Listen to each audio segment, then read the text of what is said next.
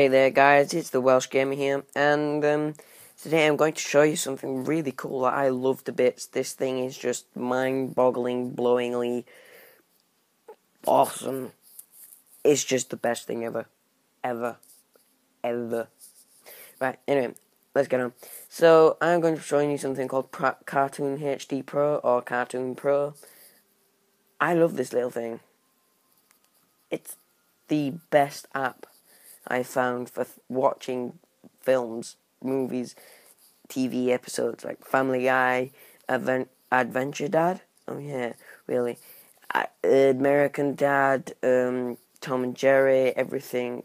Look, I'll just show you for a sec. Look, you've got all these latest movies down here, and that's the favourites of people. Going to categories, you've got like top IMDb top movies, top cartoons, Disney collections, Looney Tunes, Donald Duck, Tom and Jerry, some Chinese ones as well, Barbie doll, Mr. Bean movies, Mr. Bean, blah blah blah, you get the point. Right, anyway, so I am just going to be showing you where to get them all from. So like you've got all these, all the latest films, Hunger Games, Katniss, Ender Games, White House Down, Lone Ranger, that's a good movie. Uh, Hancock, blah blah blah, you get the point. And you got like tap cartoons, like that. Pretty freaking awesome. Disney collections. Yeah, anyway. So I'm going to show you how to get this. So first we'll need a jailbroken iPhone iPod, which means you have to get Cydia. You do not get this off of the App Store. Don't start thinking that. You have to jailbreak it. Search it on YouTube. You'll probably find someone that'll do it. Once you've got all that, you need to get AppSync. Once you've got AppSync, get something called AppCake from Cydia. Go into AppCake, go to search up here, then type in here cartoon. Just like that. Press the search button, and it'll come on all these weird things. Ignore them, just go down. So it says Cartoon HD Pro.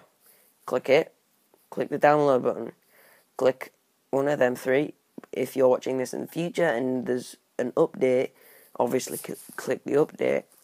So you'd click the whatever it is, you'd wait for it to load. Come on, hurry up. No, I do not want to download anything. Let's just wait for it to go down to the bottom. I'll come back when it's done, guys. Okay, guys, I'm back and it's done downloading now, or whatever you want, finishing. So you just click the grey button there that says download on it, wait for it to load. I normally wait for the ads to load, and if there isn't any ads, oh, uh, there we go, look, there's one. And then click the green download button here. And it says that it started. Right, I don't need any of these now. Delete you.